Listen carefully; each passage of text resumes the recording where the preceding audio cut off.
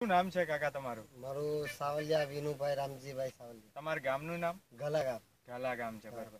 શેરડી વાવો છો? શેરડી વાવું છું. કેટલા વખતથી? પંદર વર્ષથી. પંદર વર્ષથી. તો એમાં તમને શેરડીમાં આપણે જે કચરું બીગું બધું ઉગે છે એની સમસ્યા તો હશે જ? પુષ્કળ સમસ્યા છે શું શું થાય એમાં તમારે? ઘાસ ગુંદડો ગુંદડાની તો મોટી સમસ્યા અમારે. બરોબર બરોબર. તો એમાં આપણે તમે તમારા ફિલ્ડ ઉપર ધાનુકા કંપનીનું એક અખતરો ગોઠવ્યો હતો. કઈ દવાનો ગોઠવ્યો હતો? સેમ્પ્રા. સેમ્પ્રાનો બરોબર. સેમ્પ્રાનો અખતરો ગોઠવ્યો. બરોબર બરોબર. તો એમાં તમને કેવું રિઝલ્ટ મળ્યું? મને સો ટકાનું રિઝલ્ટ મળ્યું. બરાબર. કેટલા દિવસ પહેલાં છાંટી હતી આપણે?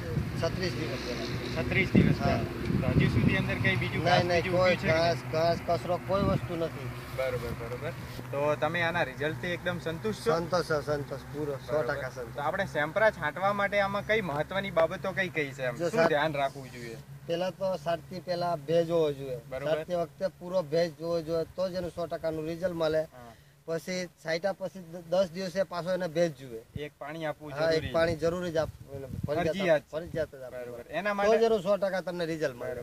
તો એને સેમ્પરા છાંટવા માટે આપણે બીજું કોઈ એનું સ્ટેજ બીજું જરૂરી કે ત્રણથી છ પાન નો હોય ત્યારે જ છાંટવું એમ? ગુંદડો નાનો હોય ચારથી પાંચ પાન નો હોય ત્યારે જ છાંટવાનો પછી મોટો થાય તો કામ નહીં આપે. બરોબર બરોબર. તો અત્યારે તમે આ જે ગુંદરડાની દવા છાંટી છે સેમ્પરા એનાથી એકદમ સંતુષ્ટ છો? હા સંતોષ. સો ટકાનું રિઝલ્ટ છે મને એક- એકદમ સંતોષ છે. બરોબર. તો એમાં આપણે તમે માર્ક્સ આપવાના હોય જો તો. દસમાંથી કેટલા આપો? દસે દસ જ આપું. સો ટકાનું રિઝલ્ટ છે પછી. દસમાંથી દસ હા સો ટકાનું રિઝલ્ટ બરોબર ખૂબ ખૂબ ધન્યવાદ વિનુભાઈ. બરોબર.